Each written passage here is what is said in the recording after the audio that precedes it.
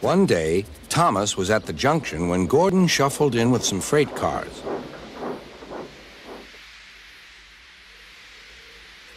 Phew, remarked Thomas. What a funny smell. Can you smell a smell? I can't smell a smell, said Annie. A funny, musty sort of smell, said Thomas. No one noticed it till you did, grunted Gordon. It must be yours. Not long ago, he had fallen into a dirty ditch. Thomas enjoyed teasing him about it. Annie, Clarabelle, do you know what I think it is? It's ditch water. Before Gordon could answer, Thomas puffed away. Annie and Clarabelle could hardly believe their ears. He's dreadfully rude. I feel quite ashamed. I feel quite ashamed. He's dreadfully rude. And to Thomas they said, You mustn't be rude. You make us ashamed. But Thomas didn't care a bit.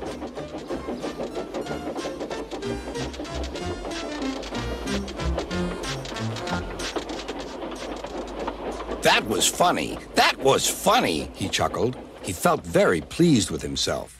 Annie and Clarabelle were deeply shocked. They had great respect for Gordon, the big engine.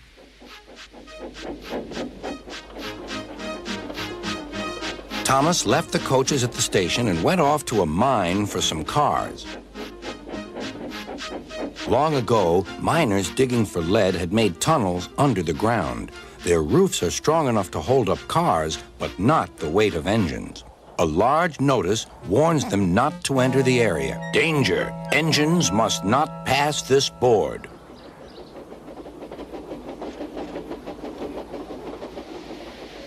Silly old board, thought Thomas. He had often tried to pass it, but had never succeeded. But this morning he had made a plan. The fireman went to throw the switch. Now for my plan, thought Thomas. Bumping the cars fiercely, he jerked his driver off the footplate and followed them into the siding. Come back, yelled his driver. Fire and smoke, said Thomas. I'm sunk. And he was.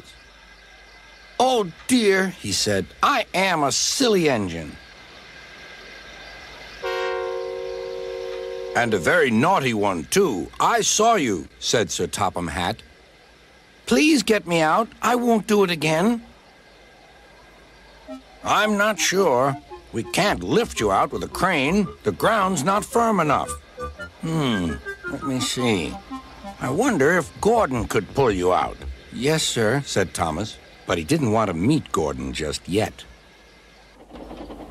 Down a mine, is he? laughed Gordon. What a joke!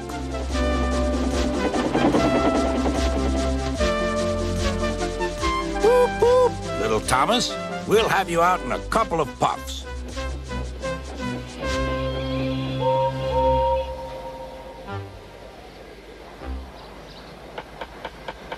Strong cables were fastened between the two engines.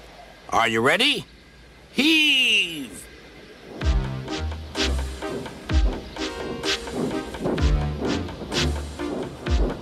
It was a lot harder than they all thought.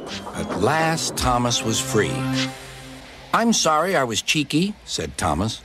That's all right, Thomas. You made me laugh, replied Gordon. I'm in disgrace. So am I, said Thomas. Why, so you are, Thomas. Shall we form an alliance? You help me, and I'll help you. Right you are, agreed Thomas.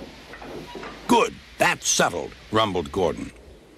And buffer to buffer, the Allies puffed home.